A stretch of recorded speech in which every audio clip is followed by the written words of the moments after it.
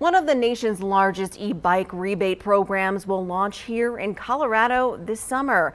The state's energy office says the program will start in August. Rebates will range from 500 to $1,100 depending on how your income compares to the median income in your county. Extra rebates of $100 and $300 will be available if you get a helmet, a lock, or cargo carrier for your e-bike. Denver 7's Rob Harris explains how the program will work and how it will be different from the City of Denver's rebate program. The City of Denver's e-bike rebate program has been wildly popular. In fact, the main criticisms stem from how fast they get snatched up.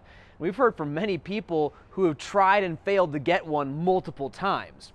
So the folks at the Colorado Energy Office have had the opportunity to watch Denver's program for more than a year as they crafted the statewide program.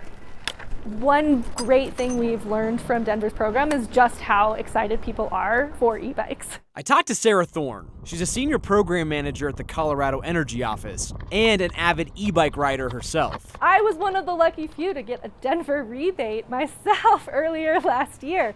So I got a Rad Wagon e-cargo bike. You know, we watched Denver's process roll out and we saw kind of how frustrated people could be when they couldn't get a rebate. So we decided that the best thing to do in order to make sure that everyone had the opportunity to apply, just to make it as equitable as possible across the state, would be to have essentially a random selection. Rather than having a specific time that everyone needs to log on for a rebate, the state's going to have applications open for a week and then choose the recipients through a raffle. The hope is this will level the playing field. People can apply at their leisure. They don't need high-speed internet access to apply, and they can apply when they're not at work. E-bikes fit in with the state's broader climate objectives. Household car trips are one of the biggest drivers of transportation emissions, and e-bikes can replace shorter trips. E-bikes are just an excellent opportunity to kind of make a small impact as an individual on the air quality of your communities, and it's just fun.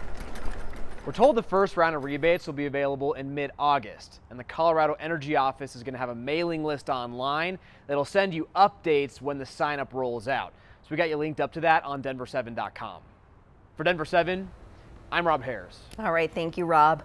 Now, if you want to get an e-bike rebate through Denver, you'll have to wait. The city will release the next round of vouchers on July 25th.